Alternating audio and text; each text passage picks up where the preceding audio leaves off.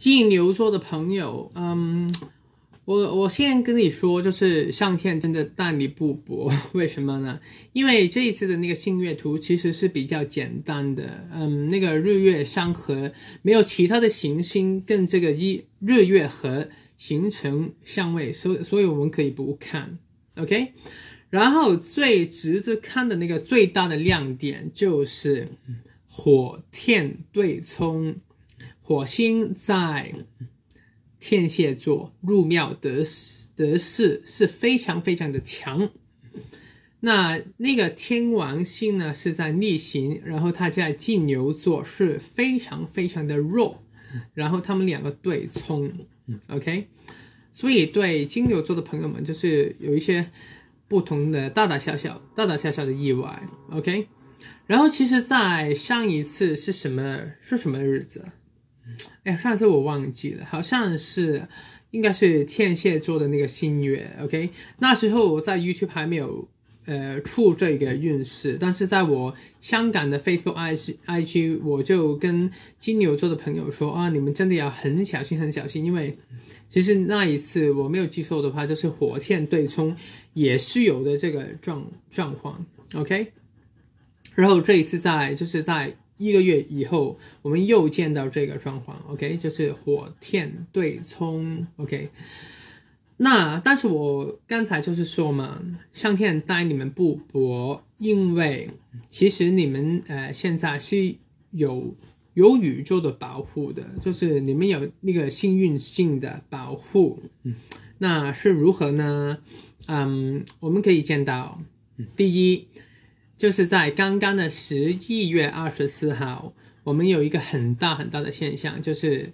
金木合，对吧？他们合在射手座，是一个很漂亮、很漂亮、很漂亮的能量。那即使现在那个金星已经离开了射手座，它已经离开了木星，但是因为他们也是很很近的关系，所以它还是有那个幸运的能量。就是第一，你们会受到木星的那个祝福，OK。第二呢，就是说。呃，金星就是你们的守护星，它刚刚踏入了摩羯座，我们香港人又叫它山羊座，OK？那是你的九宫，对你是一个非对你来讲是一个非常非常好的一个宫位，OK？所以你有第二个保护，那。即使就是那个金星，它刚刚好在摩羯座的零零度而已。OK，就是比如说你呃你你走进了一个呃庇护所，这这是一个很有保护的地方，也就是刚刚只是踏入了一条腿 进里面，但是毕竟它也是一个保护你的地方嘛。还有就是因为受到木星的那个祝福，所以其实那个木星。也是在门口外面帮帮你去挡那些风挡挡那些雨，就是帮你挡风挡雨，所以你也是受到一个很好的保护的。那么，嗯，就是呃，随着那个时间不断不呃不断不断的那个推展的话，你受到的保护会越来越越大。所以呢，塔罗还有那个星象跟你说的东西就是非常简单。你不要，你不要做一些很很大什么很大的动作，不要做一些很危险的事情就好了。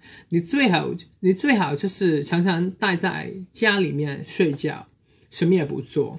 嗯，那如果你说，哎呀，我真的要做一点东西，我不可以常常待在家，那你可以去什么地方呢？第一个，你可以去，你可以去一些一点比呃一一些比较高的地方。那当然，我不是跟你说你要去做那些很危险的运动啊。那你也就是自己找找自己笨，对吧？如果你去什么跳伞什么的话，OK，但是去高的地方可以去避免危险，OK。听上去就是很很很矛盾，很 paradoxical，but but then it's actually not，OK。所以 just 嗯啊，就是你你就去一些又高又安全的地方吧，OK。如果你不想待在家，那第二个呢是可以去一些宗教的场所。所以去可以去那些那些佛庙去拜拜啊，或者是去教堂啊。那第三个是去一些高等教育的地方，比如去嗯大学，比如比如去图书馆，也是很好的地方。那嗯，就是最好就是什么什么危险的东西也不做，安安静静的。就是那这个可以保障你们的那个自己的那个安全。还有呢，啊有有有大贵人，那你们要记住了，大贵人就是一些老人家或或者是一些长辈，就是比你老的人，或者是比你成熟的人，那他们可以可以教你们做事要慢慢来，慢慢来。就是你你你就你就是你你走去跟一些做事很慢很慢的人，那些老人家，他们去交朋友吧，那他们也可以帮你去嗯。挡掉那个灾祸，对了，所以就在这里祝大家好运喽。